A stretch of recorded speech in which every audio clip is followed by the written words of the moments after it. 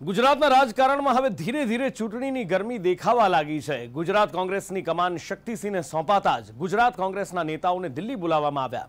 મનાઈ રહ્યું છે કે ગુજરાત કોંગ્રેસમાં સિનિયર નેતા વચ્ચે ચાલતી હુંસાતુસીને દૂર કરવા અને તાલમેલ બેસાડવા દિલ્હી હાઈકમાન્ડ પ્રયાસ કરી રહ્યું છે. પણ કોંગ્રેસ પાણી પહેલા પાળ બાંધે એ પહેલા જ ભાજપે મોટું ગાબડું પાડી દીધું. પૂર્વ ધારાસભ્ય અને બનાસકાંઠાના દિગ્ગજ કોંગ્રેસ નેતા ગોવા રબારીએ પક્ષ પલટો કર્યો અને કેસરીઓ ધારણ કરી લીધો.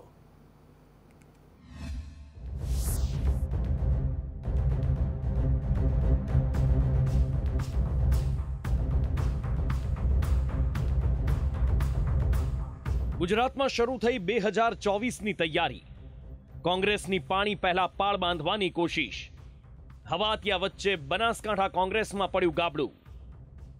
ગુજરાતના રાજકારણમાં અત્યારથી જ બે હજાર ચોવીસની ચૂંટણીને લઈને કરંટ જોવા મળી રહ્યો છે. રાજકીય પાર્ટીઓએ પણ લોકસભાની તૈયારીઓ શરૂ કરી દીધી છે.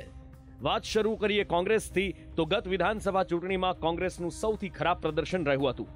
ગુજરાતમાં કોંગ્રેસ સાવ સાફ થઈ ગઈ હોય તેવી સ્થિતિ બની ગઈ હતી. જેને લઈને શક્તિસિંહના પદભાર સંભાળતાની સાથે જ દિલ્હીથી ગુજરાત કોંગ્રેસના સિનિયર નેતાઓને તેડું મોકલાયું છે. અને બાવીસ જૂનના રોજ ગુજરાત કોંગ્રેસના નેતાઓ દિલ્હી હાઈકમાન્ડ સાથે મહત્વપૂર્ણ બેઠક યોજશે. મનાઈ રહ્યું છે કે આ બેઠકમાં ગુજરાત કોંગ્રેસના નેતાઓ વચ્ચે ચાલતી હુંસાતુંસી દૂર કરવાના પ્રયત્નો કરાશે, તેમજ સિનિયર નેતાઓ વચ્ચે તાલમેલ બેસાડવાના પ્રયાસો થશે.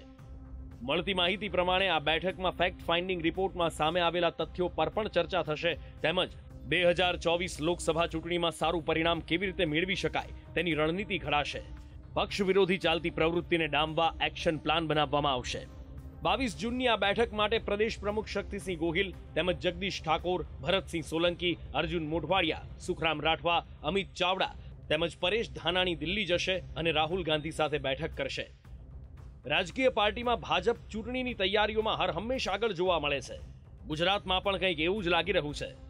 કોંગ્રેસ હજી પાણી પહેલા પાળ બાંધવાની તૈયારી કરી રહી છે. તેવામાં ભાજપે કોંગ્રેસના બનાસકાંઠાના ગઢમાં મોટું ગાબડું પાડી દીધું. પાંત્રીસ વર્ષથી કોંગ્રેસમાં રહેલા અને બનાસકાંઠાના દિગ્ગજ નેતા ગોવા રબારીએ પક્ષ પલટો કર્યો અને ભાજપમાં જોડાઈ ગયા. ભાજપના પ્રદેશ પ્રમુખ સી આર પાટીલે ગોવા રબારીને કેસરીયો ખેસ પહેરાવ્યો.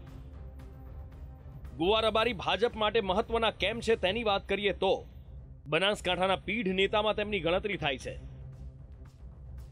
ગોવા રબારી છેલ્લા પાંત્રીસ વર્ષથી કોંગ્રેસ સાથે જોડાયેલા હતા.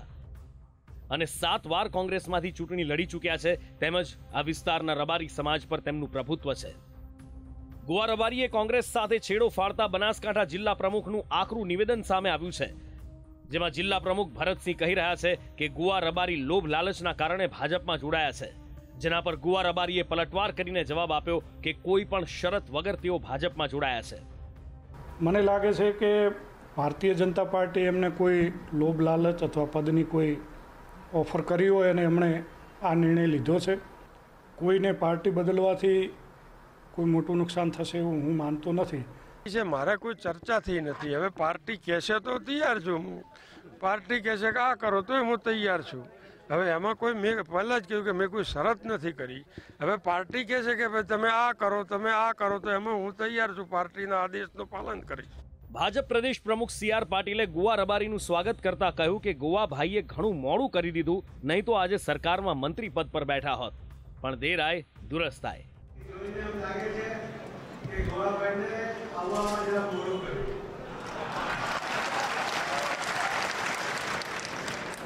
થોડા વહેલા આવ્યા હોત ને તો એ જો ગુજરાત સરકાર તો કોઈ ક્યાં બેઠા હોત ચલો દેર આય હાલ તો ભાજપ કોંગ્રેસ બંને રાજકીય પાર્ટીઓએ તૈયારી શરૂ કરી દીધી છે. પણ આ વખતે લોકસભાનો મુકાબલો જોઈએ તેટલો સરળ નહીં હોય. કારણ કે ગુજરાતમાં દરેક ચૂંટણીમાં ત્રિપાંખીઓ જંગ થવાનો છે. નવી આવેલી આમ આદમી પાર્ટી પણ ધીરે ધીરે પોતાનો વિસ્તાર વધારી રહી છે, ત્યારે ગુજરાતના રાજકારણમાં આગામી સમયમાં વધુ ગરમી જોવા મળશે એ નક્કી છે. Bureau report, Sandesh news.